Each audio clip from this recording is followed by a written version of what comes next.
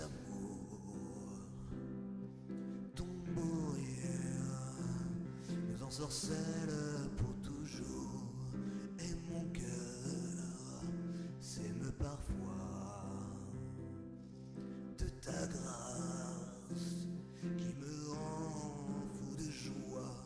Je voudrais te dire je t'aime, mais par où commencer?